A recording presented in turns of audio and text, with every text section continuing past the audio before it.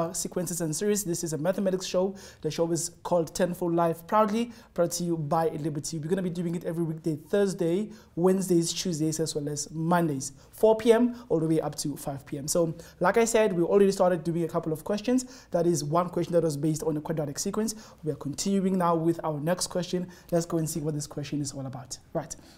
So we are told here that uh, we are given a combined constant and arithmetic sequence with the following terms. It's 5, 4, 5, 7, 5, 10, and so on and so on. So clearly you can see something very important about what is going on here.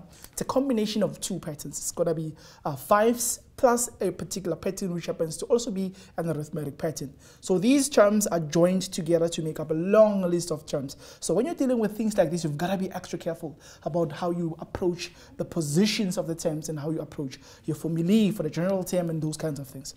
So let's look at what the question is in this case. We are told here that we need to determine the position of the term 1051, that's like 1051 in the combined sequence. Right, now what does this look like graphically? Well, it looks like this.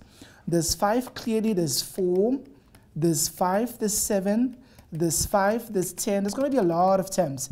Somewhere there's going to be 5, and then there's going to be 1051, and then there's going to be another 5 again and another term after that.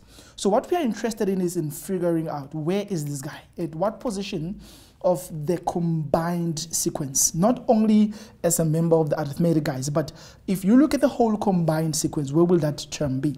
Now, the most important thing all the time when you're dealing with a combined pattern is to separate them. Right? Treat them separately, put the first one one side, and then put the other sequence on the other side.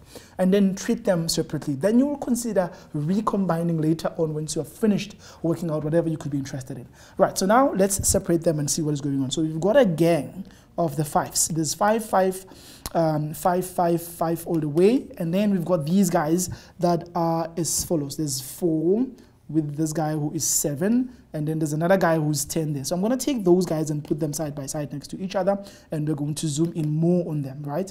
So 5, 7, as well as 10. And then later on, we're apparently going to have 10, 51. So we want to know where is this guy going to be?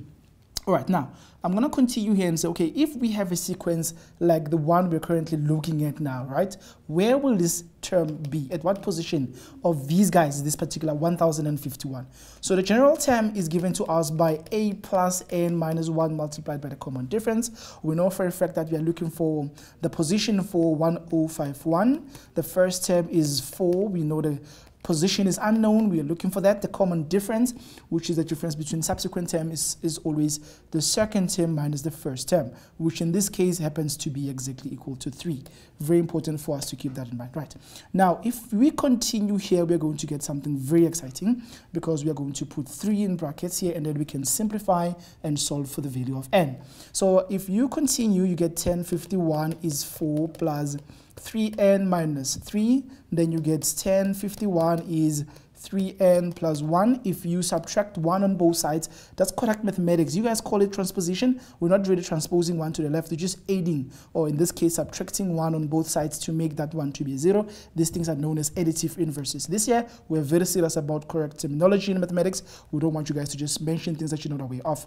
So 1051 minus 1 is going to give us 1050. So we're going to try and divide both sides by 3. So I'm going to divide by 3 here. I'm also going to divide by 3 on this other side.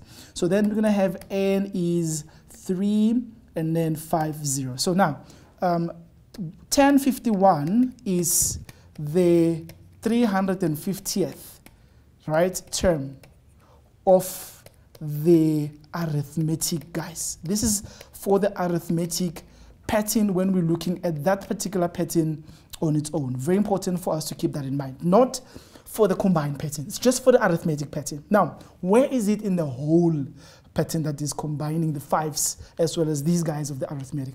So let's go up and check what is going on. I want you to pay attention to something very important here. Let's look, for example, at the number 10. I want us to look at the number 10.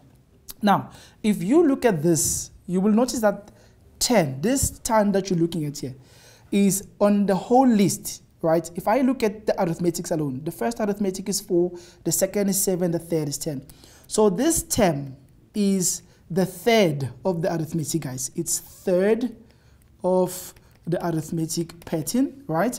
But in the combined pattern, it is number one, two, three, four, five, six. So it is the sixth of the combined pattern, right? So you have to keep that in mind. It is the third, 10 is the third term of the arithmetic, but if I add the other three fives, then you are suddenly looking at six terms in total. So that makes 10 to be the sixth. Now that means you need to double if you are looking at the whole pattern. So the same thing is going to apply with our question that we are currently looking at now. If this 1051 is at position 350, it means 1051 is 350th of the arithmetic progression terms. Therefore, it is at 350 times 2, right, which is exactly 700. It's the 700th of the combined right? Please keep that in mind. Very important for you to consider that this is a combination of two types of patterns. So if you are combining things, your position is going to be always double of what you are when you're just sitting with your own members. So that's a very beautiful question. Thank you for sending it through. If you want to also uh, send your questions, just look at our Facebook page on the Mindset TV Facebook page. Send the questions there using a video format or also use our app. It's called Tenfold Education. We're still coming back with a lot of very exciting content. Don't go anywhere. We'll be right back.